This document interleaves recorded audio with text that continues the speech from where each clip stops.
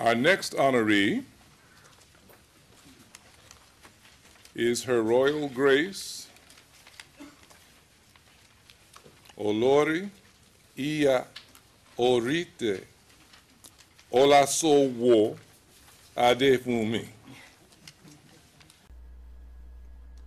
King Khan Mashe Olori Orite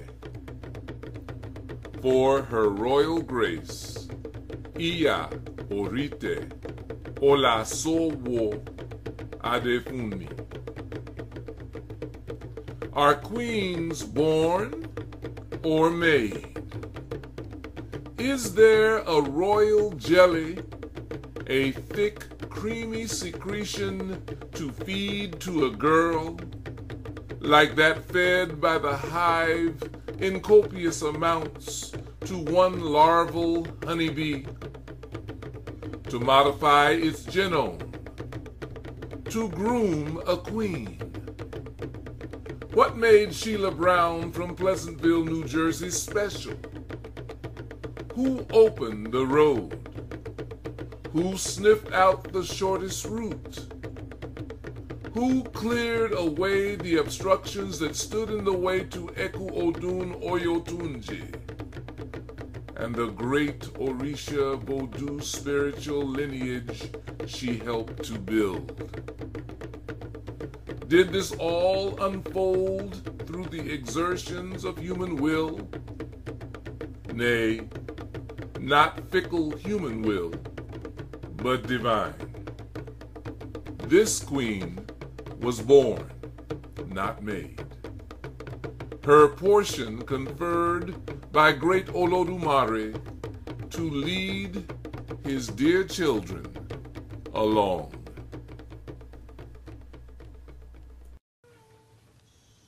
She is clothed with neatness, she is fed with temperance, humility, and meekness are as a crown of glory encircling her head. Her Royal Grace Iya Orite Olasowo Adefunmi was the senior wife to His Royal Highness the late Oba Oseijeman Adefunmi I, the first, and the primary initiate of a line of New World African kings at Oyotunji African Village. Located in the low country of South Carolina, 60 miles south of Charleston and 55, 55 miles north of Savannah, Georgia, off of Interstate 95, Oyotunji is a power center for Yorubas in the Western Hemisphere, and Iya Orite is the queen mother of them all. Accordingly, her name is her title, which means mother heads the throne. Born in Atlantic City, New Jersey as Sheila B. Brown, her Grace's journey began with, uh, uh, with a childhood that epitomized the strength of African women and family, having been raised by her great-grandmother, her grandmother, and her grandfather. She attended Atlantic City High School and was very active in the church. At age 16, she became a debutante, and under the tutelage of the Reverend Canon Kenneth E. MacDonald from Kingston, Jamaica, rector of St. Augustine's Episcopal Church, her grace won an oratory scholarship to St. Augustine Episcopal College. At 17, she became the head of the Atlantic City Convocation for all Episcopal young churchmen. Had fate given her a different path after her 1962 graduation, her grace would have sought to be the first female bishop in the Episcopal Church. Having a flair for the dramatic, in 1968, Iya Orite embarked on studies with the Negro Ensemble Company in New York. This placed her in the company of fellow actors Robert Hooks, Douglas Turner Ward, and sister actress Rosalind Cash, all of whom would go on to achieve their own level of fame.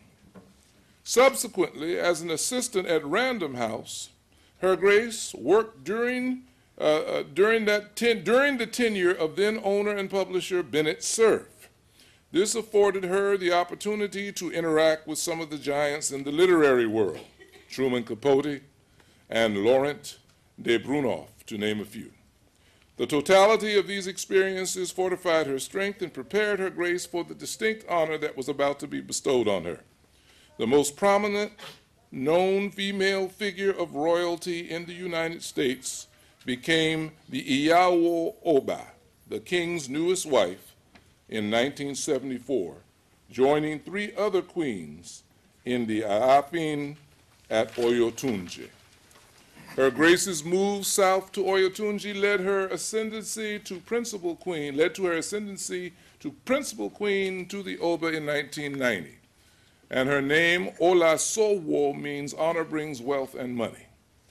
Oyotunji village, created in Beaufort County, South Carolina in 1972 by her late husband, His Royal Highness Oba Adefunmi, became the living monument to the Oba's goal of reclaiming his African heritage and showing other African Americans how to do so as well.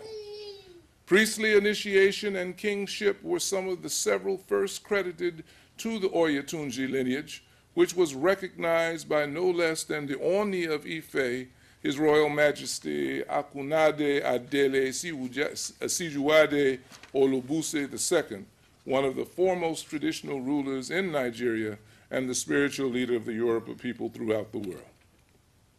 The kingdom of Oyotunji became the first Orisha worshippers in the West to reinstitute Egungun, uh, excuse me, masquerade and the Ogboni secret society. Her royal grace filled various roles in her 24 years as a co-builder and sustainer of the kingdom of Oyotunji. In addition to rising to senior queen, she was the keeper of the archives, the crowns, and all royal emblems. As chief of royal protocols, she coordinated all matters dealing with the Oba, and as senior Ifa priestess and Iyanifa, she coordinated the kingdom's annual Ifa festival. Having completed all of her rites of passage as king's wife, mother, chief, and grandmother, Iya Orite came to Miami in 1997 to write the first volume of the Her Story of the building of Oyotunji, the first 25 years.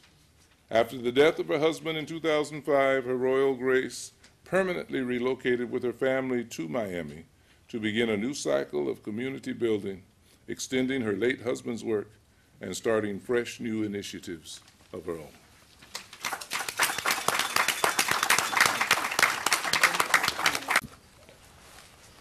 Good evening. Hola, ¿cómo está? Sapase. Shalom. and um, Ahutasain. Yeah. And um, for my Native American ancestors, they say Ona. May your road be light. I want to say good evening to everyone. Much love to all my sisters here.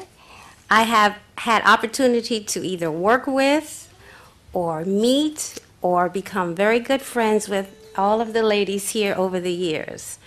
And I'm very pleased to be here. Um, I find that the young people in our community today are totally unprepared for job interviews, how to fill out applications, how to present themselves um, on a daily basis to someone to whom they hope will employ them. And I find that the um, approach that the employers use for our young people and the uh, manner of um, interviewing is quite different. I found uh, that there were people um, who were more apt to hire one person or another just by the very first meeting, the very first impression. And my great grandmother would always tell my sister and I the first impression is the most important impression that you can give someone. And I found that to be very true.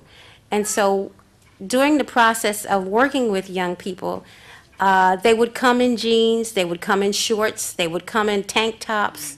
The young men's pants would be sagging below their um, behinds. Um, they would have on um, gym shoes. Uh, the hair would not be properly done. And I had to take on the position of really being the mother and the mentor in the office